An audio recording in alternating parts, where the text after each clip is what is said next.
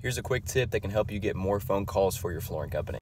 This is something that pretty much no one pays a lot of attention to, but it's really important. So, if you go to your Google business profile, and you should have a Google business profile if you don't already have one, um, that's how you get found on Google Maps and how people that search on Google for flooring companies can call you essentially and get really good high quality leads. So when you're setting up your Google business profile or if you already have one, go look like go to edit profile and then go to your categories. So, like, you essentially select a primary category and then additional categories that you essentially are telling Google, like, that's who you are and what you do and what you want to pop up for in searches.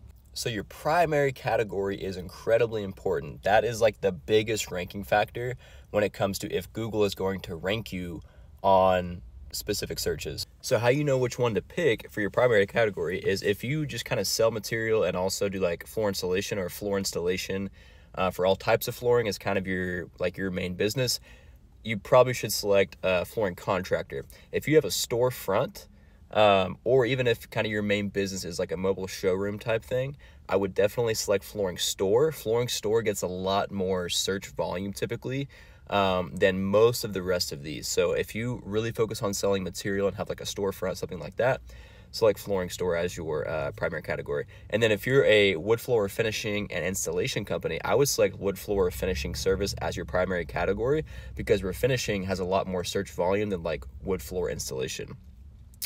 And so that's what I would do for that. And then if you kind of do um, like polished concrete, epoxy, stuff like that, there's like floor finishing. There's also uh, like floor polishing services. That that's the last one that you can't see down below here. So definitely go through your profile, make sure you've got the right one selected, and that's going to have a huge effect on how many calls you get and how good your SEO ranking is in Google.